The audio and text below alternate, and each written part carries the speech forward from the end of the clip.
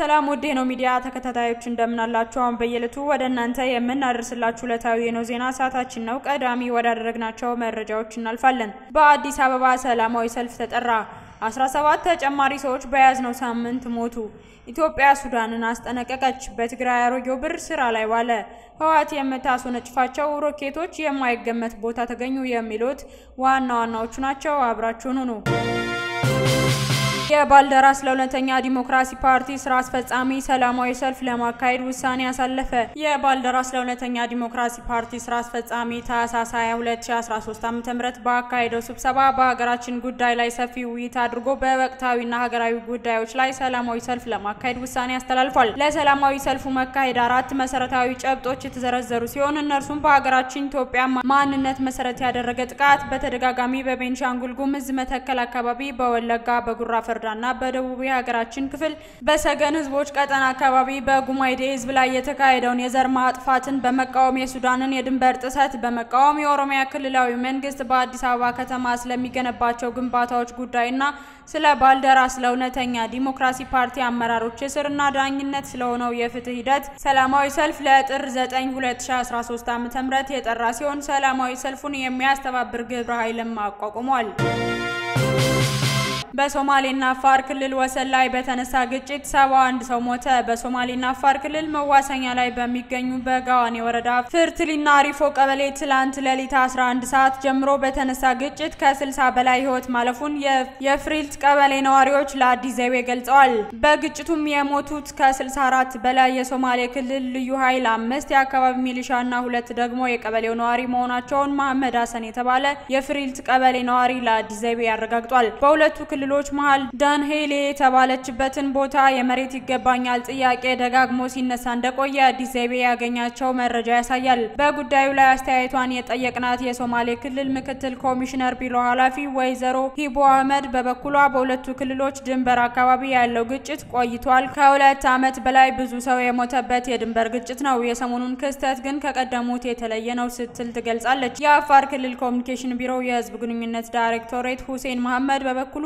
በድንበር አካባቢ በነበረው ግጭት በሶማሌ ክልል ልዩ ኃይል አማካኝነት ነው የተጀመረውና ወረራውም እያካሄዱ እነሱ ናቸው። የአፋር ክልል ንጹሐን ዜጎች ላይ ጥቃት በመሰንዘር ሰላማዊ ህዝብ ጉዳት አድርሶበታል ብሏል። የተደረገው ለፖለቲካ ፍጆታ ተብሎ የሚደረገ የነፍስ ማጥፋት ወንጀል ነው ያለውም ደግሞ የዳን ሀይላይ ቀበሌ ነዋሪ የሆነው አቶ ጃማ ሀሰን ነው። አዲስ ዘይቤ በአፋር በኩል ያሉ ተጎጂዎችን ቁጥር ለማጣራት ብትሞክርም መረጃ ማግኘት አልቻለችም። ኢትዮጵያ ሱዳንን አስጠነቀቀች። ሱዳን የድንበር ላይ ትንኮሳዋን የማታቆም ከሆነ አጸፋዊ እርምጃ እንወስዳለን። የኢፌዴሪ የውጭ ጉዳይ ሚኒስቴር እንዳስታወቀው ሱዳን በድንበር አካባቢ እያደረሰች ያለውን ህገወጥ ድርጊት የማታቆም ከሆነ ኢትዮጵያ ሉዓላዊነቷን ለመጠበቅ ስትል እርምጃ ትወስዳለች ብሏል።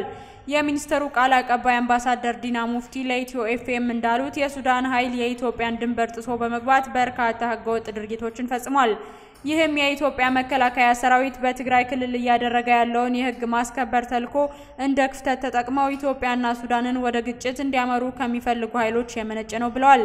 ኢትዮጵያ ሉዓላዊነቷን ለማስጠበቅ ዝግጁ መሆኗን ያረጋገጡት ቃል አቀባዩ ችግሩን በሰላማዊ መንገድ እንፈታለን ስንል ፍርሃት ከመሰላቸው ተሳሰዋል። ማንኛውንም ጥቃት ለመመከት የጸጥታ ኃይሉ 24 ሰዓት በተጠንቀቅ ላይ ይገኛል ብለዋል።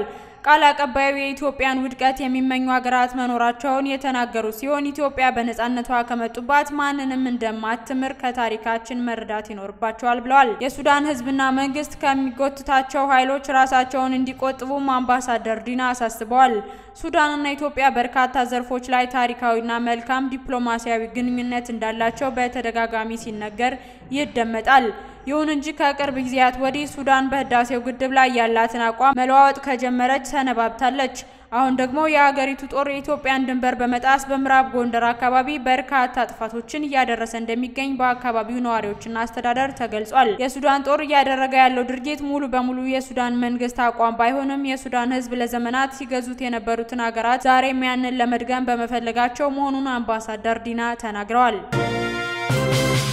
ብሔራዊ ባንክ አዲስ ውሳኔ እስኪያሳልፍ በትግራይ ሁሉም የገንዘብ ኖቶች ስራ ላይ እየዋሉ ነው። የኢትዮጵያ ብሔራዊ ባንክ በትግራይ ክልል ባለፉት ወራት የነበሩትን የጸጥታ ችግሮች ከግምት ውስጥ በማስገባት የተለየ ውሳኔ እስኪያሳልፍ ድረስ በክልሉ አዲሱም የቀድሞውም የገንዘብ ኖት ጥቅም ላይ እየዋለ ይቀጥላል ተባለ።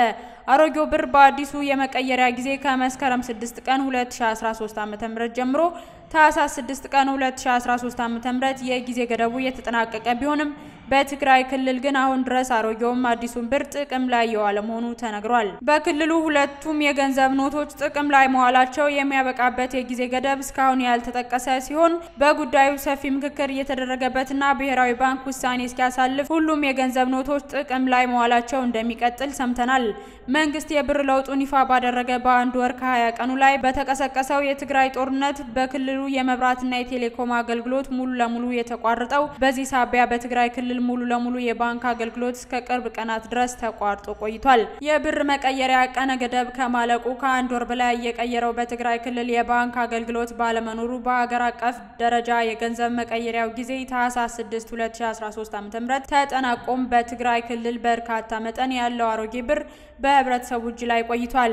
አሁንም በክልሉ ያለው የመሰረተ ልማት አቅርቦት አስተማማኝነት ታይቶና ወደ ስራ የገባው የባንኮች እንቅስቃሴ ከግምት ውስጥ ገብቶ የአሮጌው ብር የአገልግሎት ጊዜ ላይ መንግስት ውሳኔ ያስተላልፋል ተብሎ እንደሚጠበቅም ሰምተናል። በትግራይ ክልል የህወሓት ቡድን በሰሜን እዝ ላይ ያደረሰውን ጥቃት ተከትሎ የፌዴራል መንግስት የአጸፋ እርምጃ በወሰደባቸው ጊዜያት በክልሉ ያሉ ባንኮች ሁኔታ ማቃወም አስቸጋሪ ሆኖ ቆይቷል። ህወሓት ሰሜን እዝ ላይ ጥቃት በፈጸመበት ጥቅምት 24 2013 ዓ.ም ምሽት ወደ ትግራይ በአሮጌው ብር እንዲቀየር ተልኮ የነበረው 1.3 ቢሊዮን አዲሱ ብር መድረሻም እስካሁን ግልጽ አይደለም።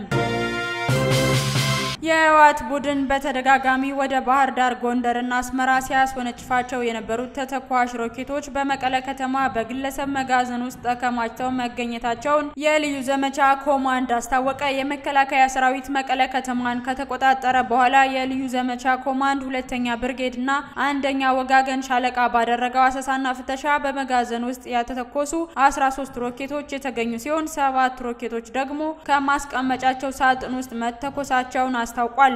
በተጨማሪም የተተኳሽ ሮኬት ማስወንጨፊያ ከባድ ተሽከርካሪ መቀለ ከተማ ዳርቻ ባለ ስፍራ ተደብቆ ተገኝቷል።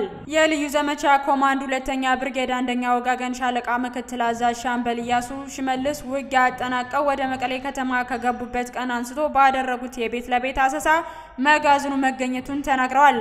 ህወሓት የግለሰብ መጋዘን ሲጠቀም እንደነበር ጠቁመው በሲቪል ህዝብ መጋዘን ውስጥ ህዝብን ለማስጨረስ አጥፊ መሳሪያ እያስቀመጡ የህዝብ ወገን ነኝ ማለት አይቻልም ብለዋል። አያይዘውም በህዝብ ገንዘብ በውድ ዋጋ የተገዙ ንብረቶችን ዘርፈው ወደ ህዝብ ሲተኩሱ እንደነበር ሻምበል እያሱ ገልጸዋል ሲል ቢቢሲ ዘግቧል።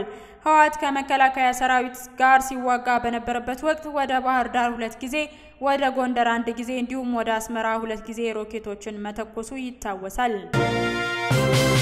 ውድ ተከታታዮቻችን መረጃዎቹ እነዚህ ነበሩ። በየቀኑ ወደ እናንተ የሚደርሱ አዳዲስ ወቅታዊ መረጃዎችን ለማግኘት የኖህ ሚዲያ YouTube channel ኣችን subscribe በማድረግ ቤተሰብ ይሁኑ።